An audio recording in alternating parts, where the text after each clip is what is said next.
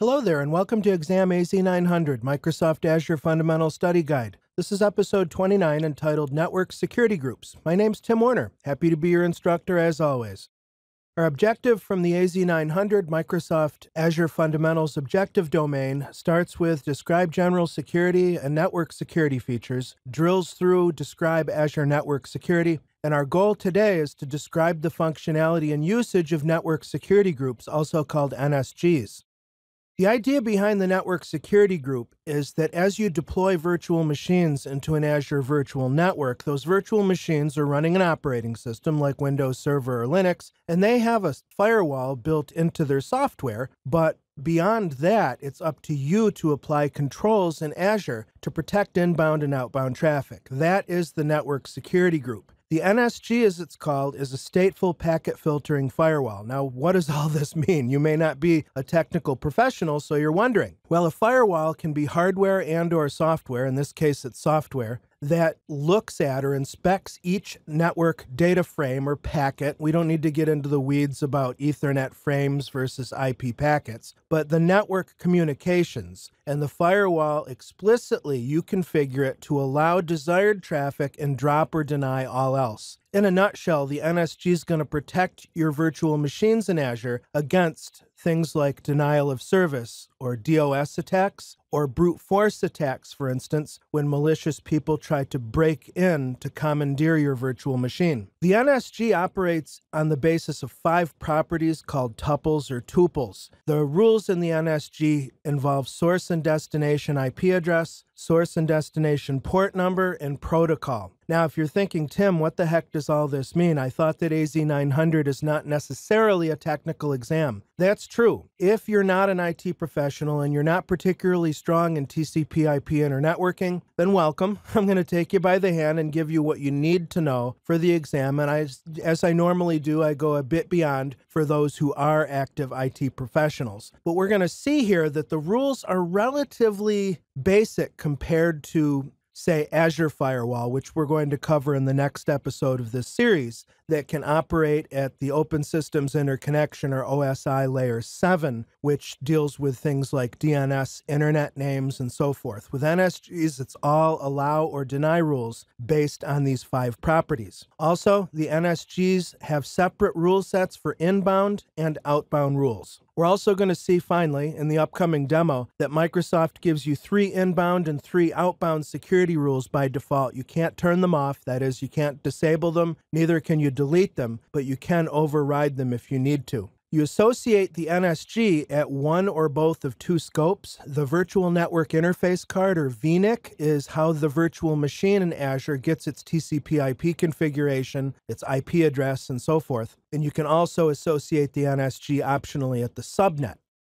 I strongly recommend that you associate your NSGs at the subnet level, and I'll explain why. First of all, this topology that comes from the Microsoft documentation, as usual, you can see the attribution in the lower left, shows VM3 that's located in subnet 2 in this virtual network, and it's being protected by an NSG that's associated directly to the virtual machine's NIC, or network interface card. On the other hand, VM1 that's located in subnet 1 is being protected by not one but two NSGs, one at the network interface and one at the subnet. This can cause some big troubleshooting headaches because the rules will be additive and they could conflict with each other and cause problems. The most common guidance is if you've divided your virtual network into subnets according to VM role, for example, let's say VM1 and VM2 are both web servers, so we would presume, I think, that you would want the same inbound and outbound traffic rules for both of those boxes because they're doing the same thing. For that reason, we could do just one NSG and associate it with subnet 1, and those rules would apply equally to both VM1 and VM2. There are cases, though, legitimate business cases, where you may need to further restrict traffic, and that's why Azure allows you to associate the NSG at the network interface level as well.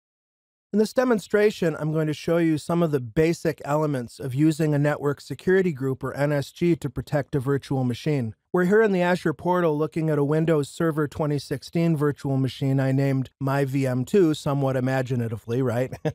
we can see on the overview page that the machine has a public IP address here of 52.177.242.235. I can also tell you that I've installed the Microsoft Internet Information Services or IIS web server software on this virtual machine. So we want to, let's say, as a business goal, have a public website accessible from this machine over the internet. However, if I copy this IP address to my clipboard and attempt an HTTP connection against that public IP address, you notice that my browser is just spinning and spinning and spinning, and I can tell you it's eventually going to time out. What exactly is blocking that HTTP connection? Well, let me stop the browser here and let's come back. And in the VM, let's go to the networking blade. And this is a good spot to just get a sanity check on how TCP IP configuration is set up for a virtual machine. Specifically, I want you to see here that it says the network security group VM NSG2 that's currently attached to the network interface is impacting the traffic. And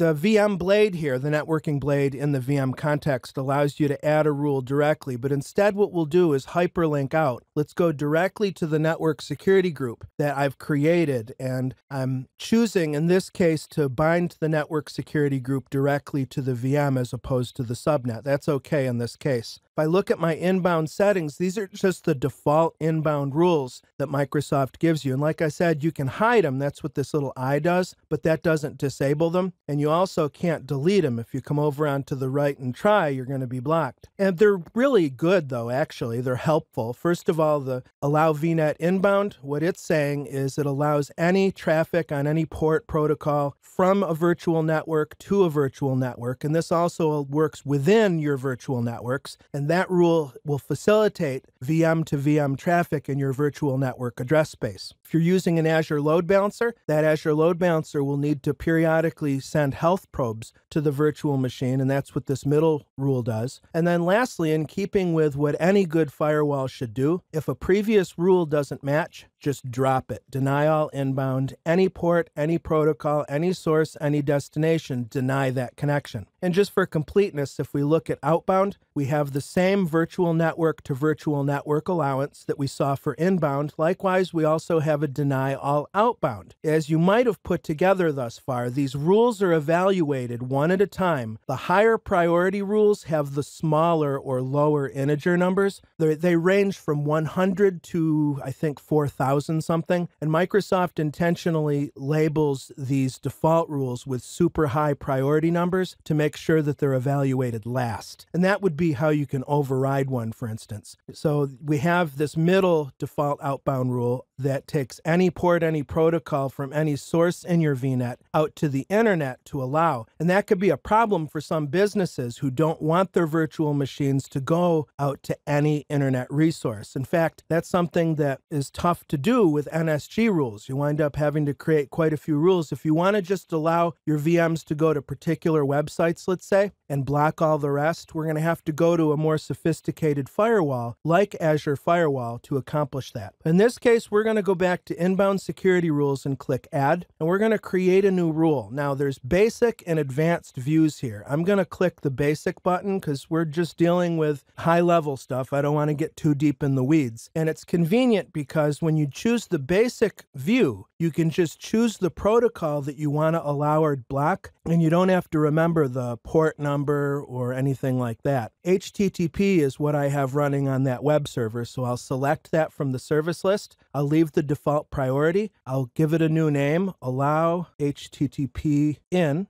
and this doesn't even give us a choice to allow or block. In the advanced view, there's a lot more choices and flexibility that you have. I'm going to just roll with this though. So I click add and you can see in the notification area, we've got some action happen, happening. It's creating that security rule. And there it is. So there's our new rule. And because that's a rule we created, if we decide to delete it later, we're free to do that, as you can see. Now, you might be wondering, now, do we have to create a corresponding outbound rule to allow TCP TCP port 80 out? And the answer to that is no. These NSGs are stateful packet inspecting firewalls. Now, what is stateful? We can just look at it to say that the firewall is smart enough to understand that if inbound traffic on TCP 80 is allowed, then any return traffic on that port will be allowed automatically. In other words, the state of the network communication is taken into effect. All right, well, let's come on over to the other tab and let me again do an HTTP call to that public IP address. Press enter, and there is the home page of that virtual machine. I just have it say this hello from my VM2 virtual machine. And those are the basic elements of the Network Security Group, or NSG, in Microsoft Azure.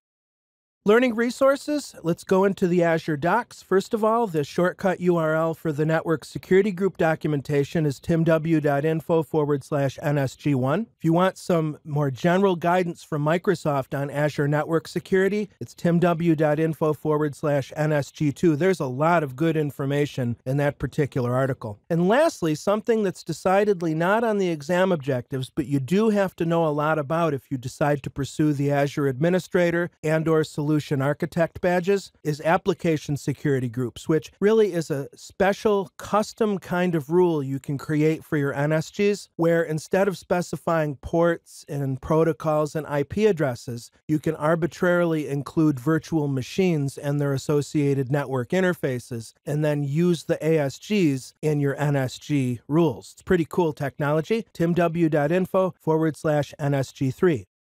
Thanks very much for joining me. As always, I appreciate you. In our next episode, as I mentioned earlier, we'll cover Azure Firewall, which is a logical extension to what we covered in this episode. Of course, like and subscribe. You know all the deal with that. Twitter, I'm at Tech Trainer Tim. My Pluralsight long form courses are at timw.info forward slash PS. My website is techtrainertim.com. See you later. Take good care.